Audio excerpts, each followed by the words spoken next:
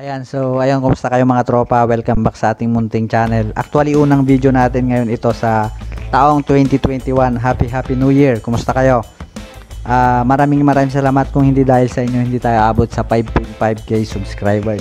So ayun, kung na-search mo lang tong ating content ngayon or tong ating video ngayon, please wag mong kakalimutang mag-subscribe and i-hit mo na rin yung notification bell para ikaw ang unang ma-update at ikaw ang unang makapanood sa mga susunod pang mga videos mga content nating ina-upload. Actually, nag-upload tayo ng 2 to 3 videos in every week. So ayan, cross mo lang marami kang mga cool tricks na mapapanood sa ating channel.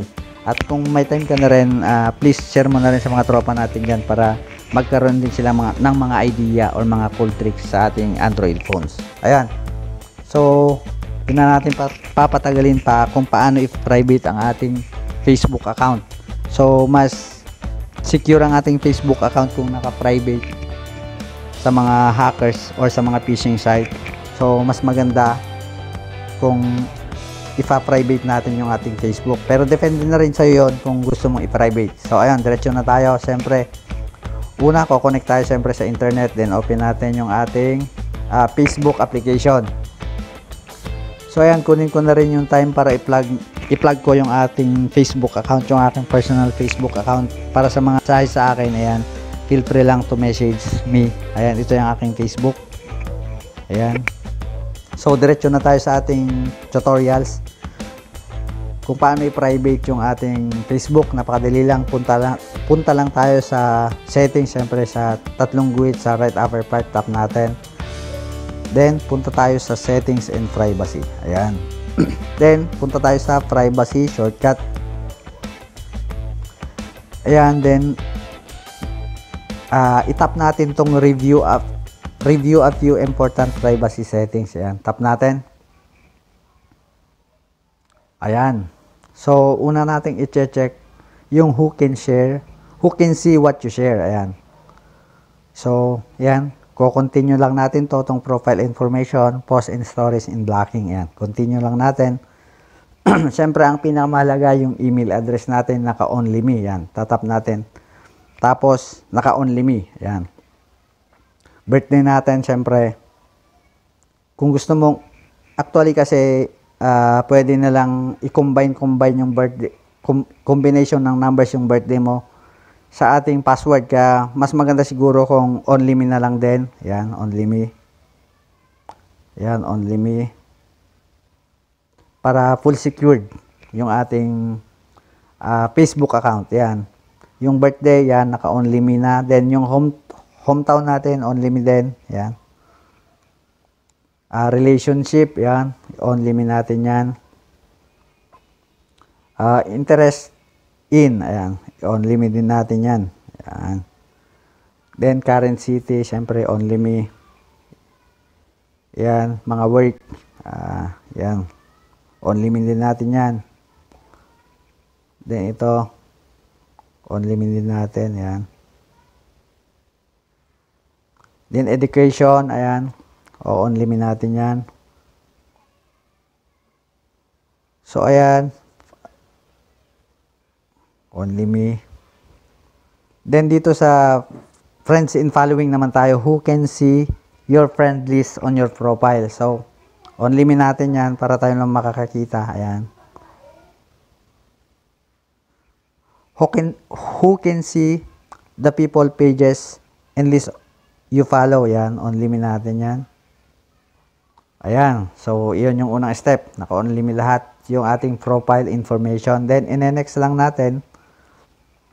Ayan, yung mga ah, sa future post.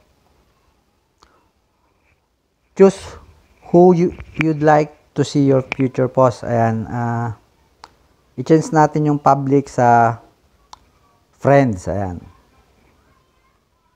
Then, ah see more. Ayan.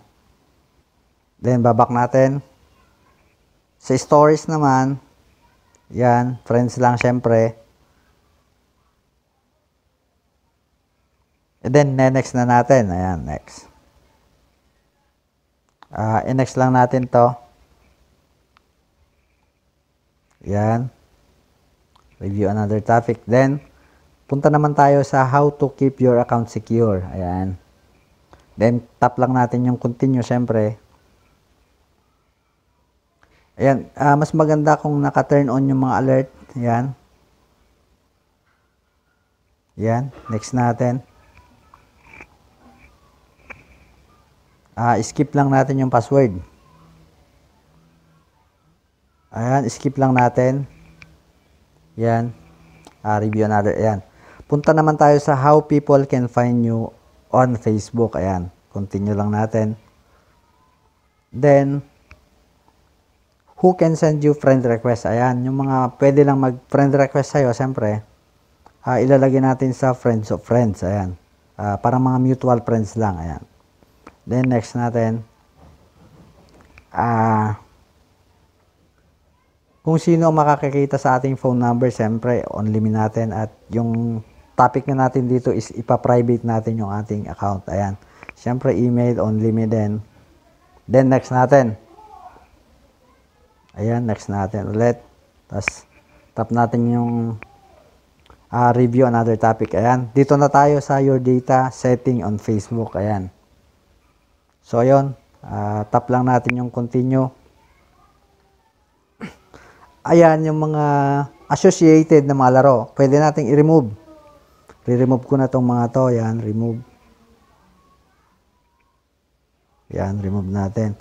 Yan, pwede mong i-remove lahat ng mga associated sa Facebook mo para malayo tayo sa mga hacking site. Ayan, next lang natin. Then, uh, do you want Facebook to able to recognize you in a photo and videos. Ayan, pwede rin nating i-allow yan. Ayan, next natin.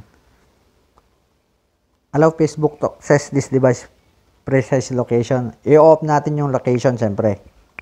Ayan. Then, review another topic. Ayan. So, ayun, ito lang, itong apat lang na privacy check-up ang ating gagawin and good to go na, naka-private na yung ating account. So, mas secure siya, mas malayong mahak yung ating Facebook. At, ayun na nga, Ah, private na siya, naka-private na yung ating account. So, ayun, napakadali lang.